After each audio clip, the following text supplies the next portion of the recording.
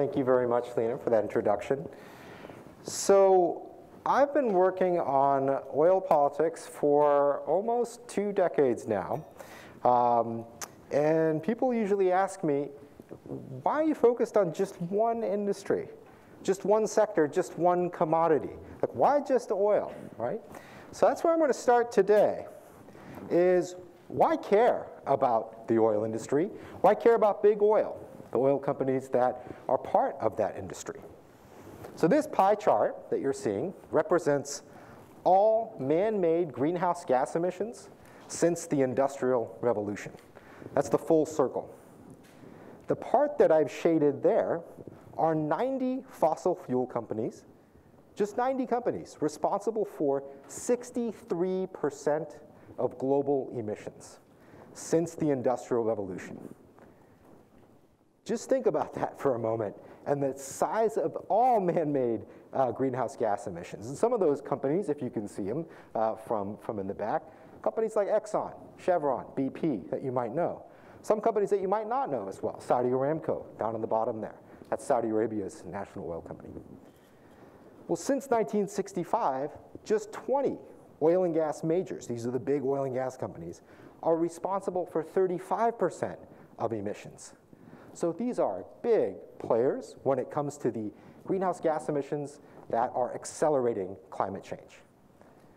On the other hand, these companies play a huge role in politics. After all, I'm a political scientist.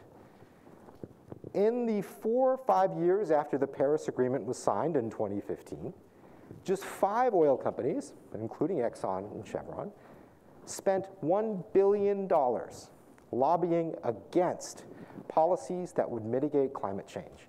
$1 billion lobbying. Just think about how much that money could do if it were spent on anything else than lobbying, right? So big, big footprint that these companies uh, occupy. The other reason to care is what is called the production gap. So if you might have seen a graph like this before, um, the green line and the blue lines at the bottom, those are the emissions that are compatible, the total worldwide emissions per year, that are compatible with keeping global warming to within the Paris Agreement limits of 1.5 degrees Celsius warming above pre-industrial levels or 2 degrees Celsius. The lines above, that kind of reddish and goldish lines, that's the emissions that will come from producing fossil fuels that are already committed based on existing plans and pledges and promises even after the Paris Agreement. Right? So you can see this big gap in between. The emissions coming from oil, gas, and in this case coal production far exceed where we need to be to mitigate uh, the worst of climate change.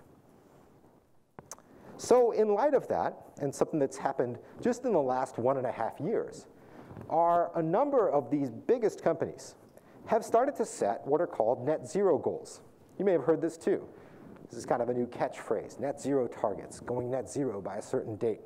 Now, all of these companies, these are again some of the biggest companies in the world, have set a goal of being net zero by 2050. What that means is that on net, what they emit in terms of carbon dioxide, methane, black carbon, other greenhouse gas emissions, anything that they emit, they will capture on the other side. So that net, there are zero emissions coming from their, their company. So all these companies have set these pledges. Again, all within about the last year and a half or so. Well, why are they setting these, emission, these, uh, these pledges, rather, to go net zero? You might ask yourself, like, what are they doing? Why would they do that?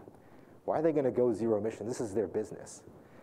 Well, some of themselves, uh, some of them, do not see themselves as oil companies first and foremost. In many ways, these companies see themselves as energy companies. Exxon, for example, calls itself a technology company. The technology it happens to sell now pertains to oil and gas. That didn't always used to be the case. Some of these companies are seeing their future, maybe, at least this is how they advertise it, as being clean energy champions. So on the left, that's an offshore uh, wind farm in the North Sea off the coast of the United Kingdom. This is one of the biggest offshore wind farms in the world, almost four gigawatts uh, of wind. This is huge. It's like, I don't know, 100 times what you might see if you're driving out to Palm Springs, those old windmills from uh, the 70s and 80s. The developer of this offshore wind farm, in part, is Equinor. Equinor is Norway's oil company. It's state-owned and also investor-owned. Equinor figured, look, we're really good at offshore drilling. We're really good at building offshore platforms in places that are really hard to do that. I don't know if you've been to the North Sea lately. Not an easy environment to do business. High waves, really cold, and snow. So they decided and said, well, look, we're pretty good at offshore platforms. We can go into offshore wind. It's just a different thing. On the right is the biggest solar thermal facility in the world.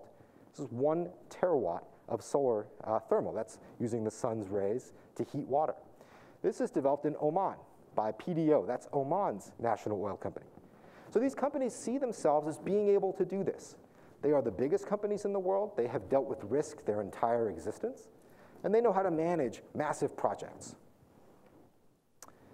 Well, the record doesn't look that great.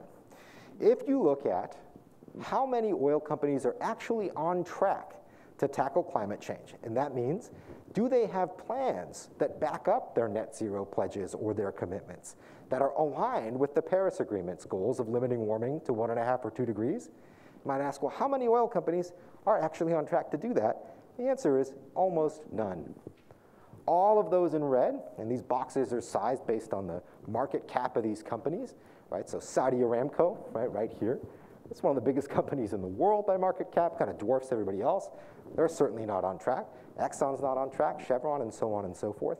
So almost none of these companies, save a select few, are actually on track even to tackle climate change. Like they have actual plans uh, that are going to get us to that limit of one and a half degrees or even two degrees more realistically.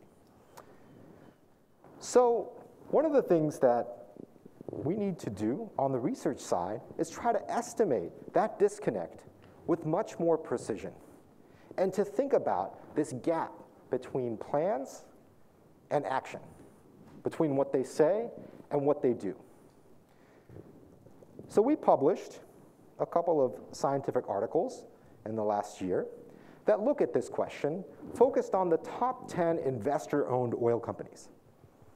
These are the oil majors. And kind of the bigger question driving this is, are the oil majors walking the talk? So what do I mean by that? How well does the industry's public rhetoric on climate policy, in other words, what they talk about when it comes to climate, how they interface with the public when it comes to matters related to climate change, how well does that align with its actual operational behavior? In other words, what they do. That's kind of the walk in the talk. Right? So how well does the industry's public rhetoric on climate policy align with its actual operational behavior? The question we aim to answer with a lot more precision than just kind of showing you some of the pieces that motivate the talk. So the starting point for this is actually in measurement. The first part of that question, the first kind of object, as it were, in that question, is kind of hard to measure. How do you measure public rhetoric? Well, companies are talking in a lot of different places, in a lot of different channels. They set out press releases. Just in the past two weeks, uh, two weeks or so, Shell decided it needs to get on TikTok. So that's what they're going to do. Right? So do we measure that? Do we measure what they say to politicians? Do, they, do we measure what they say uh, anywhere in public? We decided to go a more conservative route. And by that, we want to look at what do they say in the place that it matters the most, in which they can't get away with, with lies or deception as easily. In other words, a context in which there is no room for cheap talk. What is that context? Earnings calls. So let me tell you what those mean. These are quarterly calls, meetings, with a firm's investors, their shareholders. They report, they give updates on business activities, and they answer questions. The executives of that firm answer questions by shareholders. If they lie about something in the past, they are held legally accountable for that. At least in the United States, for example, we have the Exchanges Act going back to the 1930s. Right? Any, any statement made to an investor about the past that is an outright lie can be held, a firm can be held legal, legally liable for. Not only that, if you continuously lie, people are going to sell their shares. You're going to run out of shareholders. You're going to run out of investors. Right? So this is a context in which there's no room for cheap talk. So we tracked what the top 10 oil majors said for about a 15-year period, 2004 to 2019. So quarterly calls. And we took all of that text, which is all tracked, everything is transcribed. It turns out to be about 16 million words. We put that into a text analytic algorithm to parse that text to look for anything that was mentioned by the firm related to climate issues. So here's an example. This is the CEO of BP, Bob Dudley, at an earnings call in July 2015, talking about carbon pricing and carbon emissions, so acknowledging that they exist. But then he's basically saying, look, we think that having a reduced carbon footprint is going to be a good thing. All right, so they're acknowledging that. But we're certainly not abandoning the oil and gas industry or the oil industry. Right? So we can take that and code it. Well, he's talking about climate, uh, climate change in general. He's talking about carbon pricing. And then we can assess valence. Is he talking about it pro, anti, or somewhere in between? This kind of falls in between. He mentions it, but he's not really saying anything about pro or against, right? They see that it's there. So we take all of those statements, ends up being about 2,000 such calls that relate to climate issues. So a lot of this is related to other things, right? And asking about all other manner of things in an earnings call. We take all of that for all these firms, and we track it across six different areas. I'm going to show you some data, but I'm, I'm really just going to give you a flavor of it. Happy to talk more about it if you'd like, any of these pieces. But for the earnings call in particular, we looked at six areas. We basically ran keyword searches after we parsed the text. One is how often they talk about the end of fossil fuels. Is there a world in which they're not going to be fossil fuel producers? They talk about climate science, whether they accept it, deny it, or in between. Carbon pricing, Paris Agreement, or other international agreements. National laws. Right now, for example, big conversation around Build Back Better, right? And then also looking at CCS, that's carbon capture and storage, this idea of taking carbon dioxide out of the sky and putting it underground. So we track that. Uh, this is the sector level difference over time. So some things are improving, but some things are staying relatively flat. You can do that by firm too. Right? So this plot kind of shows you the firm level climate, uh, public-facing climate policy, or rather their public rhetoric on climate. And that takes all those six and collapses it into one index for each firm. And the point of that chart is twofold. One is there's a lot going on. There's variance.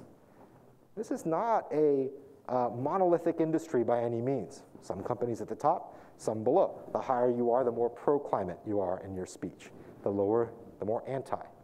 And there's a trend upwards, which is a good sign. So that's one thing. Okay, I'm going to come back to that. The second is how do we measure actual operational behavior? Now, this one's a lot easier because there's a lot of data on what firms do. And we were just tracking historical firm activities across four key areas. So this is a lot of, on measurement, but, but these are kind of key areas to think about when you're trying to assess how well these companies are doing on, on climate. One is their emissions. We can track that. We can measure that. How much they emit in terms of carbon dioxide, methane, black carbon, other GHGs. Another is energy efficiency. How much energy they use to produce one unit of output or even one dollar of revenue, right? So you want to get a sense of improving energy efficiency. A lot of talk about that right now. And then we want to see how much they're spending and how much attention they're paying to oil and gas commitments in particular. And the reason for that is that every investment today is a lock-in for the future. Now, uh, that is something you can see very clearly here in Santa Barbara, for example. Right? If you look out on the horizon, if you're ever at the beach, you'll probably, uh, probably be able to see a bunch of oil platforms, right? That's not a one-year asset. That's a 30-year, 50-year, 60-year asset. There's a big lock-in. Right? Oil can be produced for a, a very, very long time span. So the investment you make today has consequences long in the future. So we wanted to track that. On the other side, we wanted to track how well these companies were doing in investing in non-oil activities, and in particular, renewables, wind, solar, electric vehicles, biofuels, also things like carbon dioxide removal, like carbon capture, right? So we wanted to track that as well. So I'll just show you the, the, the raw data. I'm not going to spend too much time on this slide. There's a lot going on. But the point, again, here is to see a lot of variation. There are a lot of lines, right? This is change over time. Some companies emit a lot more than others. Some companies are less energy efficient than others. Some are getting, uh, um, some are investing a lot more in renewable energy. That's the graph to the right. The bar chart shows the number of deals or acquisitions of renewable companies across oil companies. So BP's all the way on the left, and some are not, like Exxon, right, over this period, 2004 to 19. So a lot of variation, right? A lot of changes within the sector and, and across time. All right, so what do we do with all that? A lot of data, there's a lot more we can say about it, but to just answer the question, right, thinking about how well what you say matches up with what you do, we collapse each of those sides into a single dimension. So that bottom axis is what we call political strategy. That's the collapsed index of what they say when it comes to climate policy, collapsed into one dimension. Right? So pro-climate on the left, anti-climate on the right. The y-axis is business strategy, right? That's taking all the ones that I just showed you and collapse those into one metric, or one dimension. Higher up is more pro-climate business activity, so investing more in renewables, less into oil and gas, reducing your emissions. Down at the bottom, anti-climate. And in fact, you have, kind of drew these four quadrants. That centerpiece is kind of like your neutral on both, right in the, the middle there. Okay. So what does this look like for these companies? Well, you take these top 10 investor-owned oil companies, get all that data, and you plot it. Well, here's what things look like before the Paris Agreement in 2015. And it's okay if you can't read the, the specific companies if you're in the back there. But the idea is to see where they fall along the graph. So there is some variation, but almost all of them are in that kind of bottom right quadrant. Now, part of that is because these companies, at this time, were mostly engaged in either outright climate denial or climate obfuscation, sowing doubt this idea that, well, there's some climate change, and maybe there's not. I'll get to that in just a sec.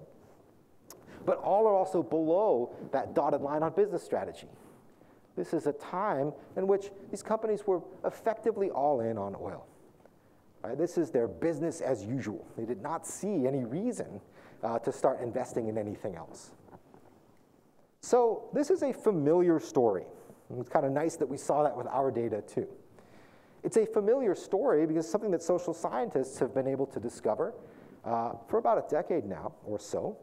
And one of the biggest players in that was Naomi Oreskes. She's a professor over at Harvard, who wrote a book with Erik Conway called Merchants of Doubt.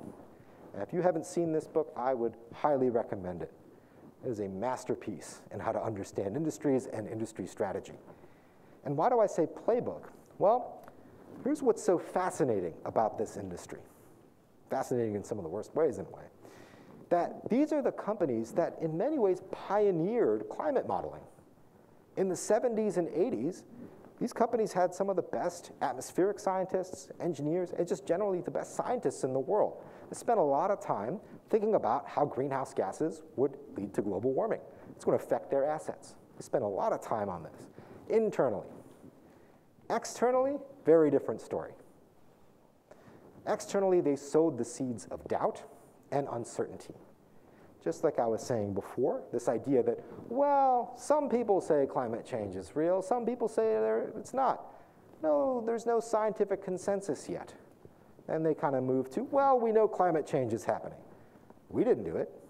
Then they move to, well, we know climate change is happening, we did it, but we didn't do it. It's those other companies that are doing it. And now it's like, yeah, it's happening, and we can be a part of the problem, part of the solution, right? So lots of, of, of conversations around doubt and uncertainty more than anything else. And the playbook kind of tracks with uh, the tobacco industry's playbook. That's what, what gets into, uh, what uh, Professor Oreskes gets, to, gets into in this book as well. Okay, so what does the world look like after Paris? This is a landmark agreement that the countries of the world came to, and acknowledging finally that climate change is an important issue. Countries have to make pledges to reduce emissions and stem uh, the worst of climate change.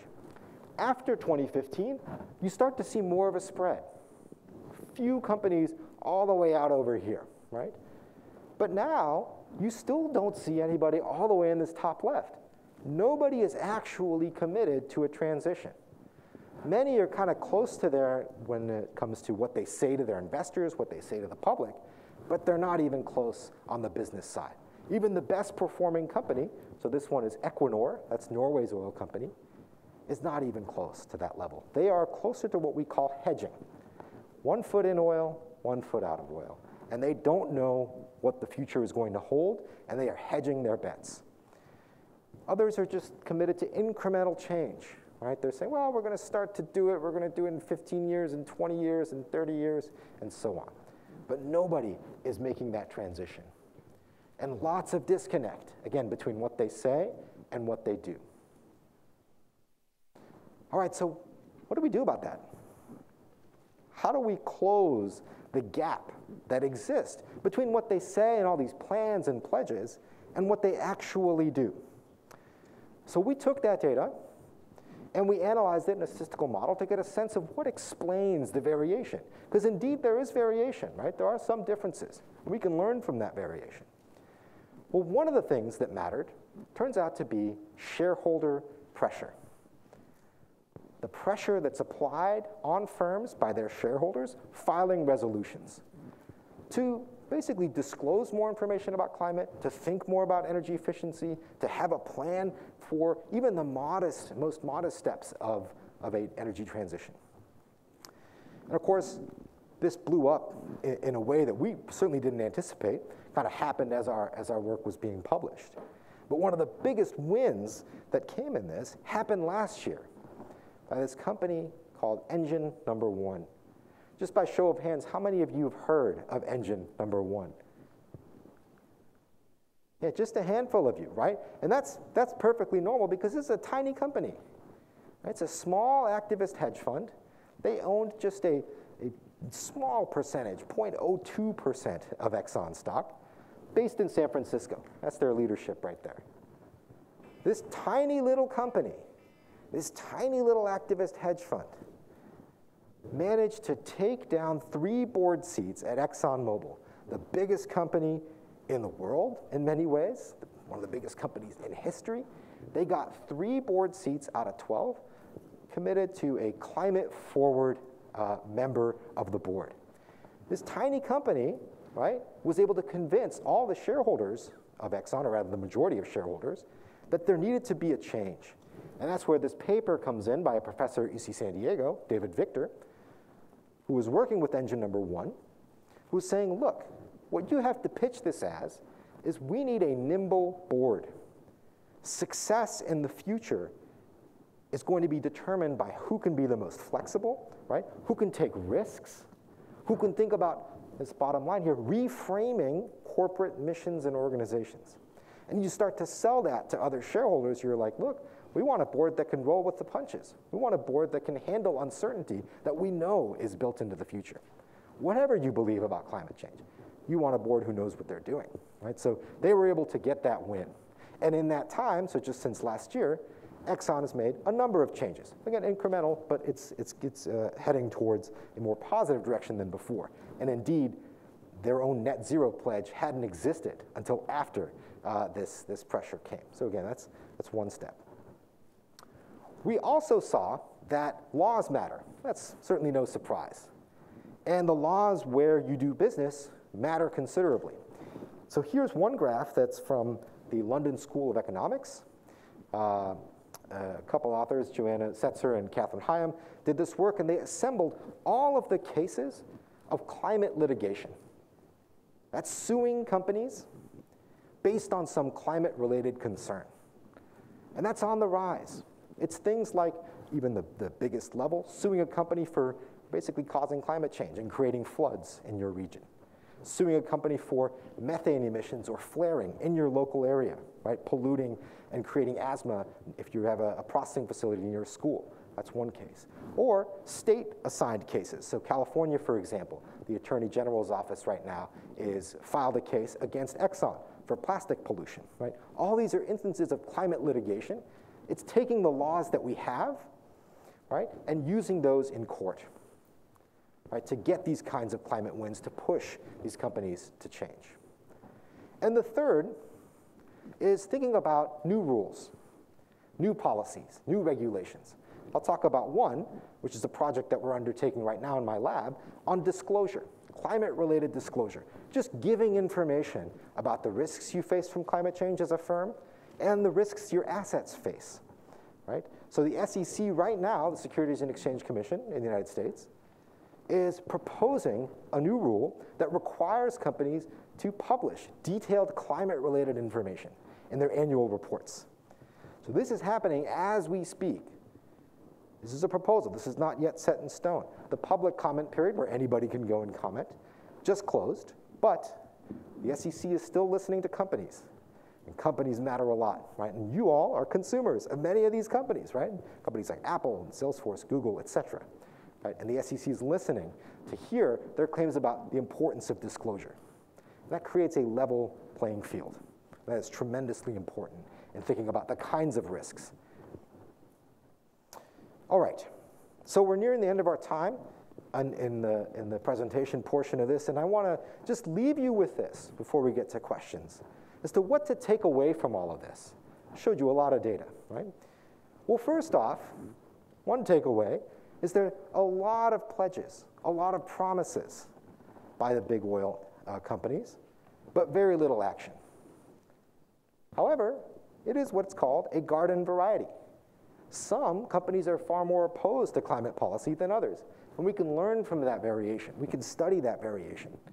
We can make sense of that, see what kinds of pressures work. Well, so how do we move forward? What kinds of pressures? So just to recap the last three, one is pressure from investors. That matters. Pressure from consumers. That matters. These things are important. Companies have to respond to their investors and who they sell their products to. Climate litigation is going to play a big role, especially based on protection rights for consumers and investors. And lastly, new regulations. We need better policies to level the playing field, and not just on disclosure, but if you think about the demand side, like I said, Build Back Better, and so many other things that especially we here at UCSB are, are working hard on. My colleagues, uh, Leah Stokes and, and Matto Mildenberger, um, in particular, working on that demand side, making alternatives cheaper, more affordable, more accessible. So new policy matters tremendously, and we need that to level the playing field, to make it fairer for alternative ener energies uh, to thrive. I will stop there, and I'm very curious to hear your questions and, uh, and the conversation. So thank you.